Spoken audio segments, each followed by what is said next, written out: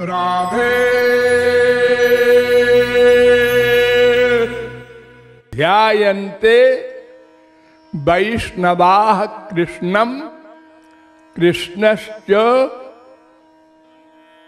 वैष्णवास तथा एक, दो, छत्तीस, नारद पाँच रात्र कि जितनी मात्रा में भक्त भगवान की दासता करता है, उतनी मात्रा में भगवान भक्त की दासता करते हैं। महाभारत में भी कथा है कि एक दिन श्री कृष्ण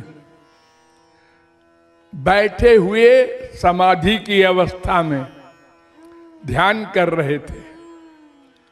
तो बड़ी देर हो गई, उद्धव बैठे बगल में।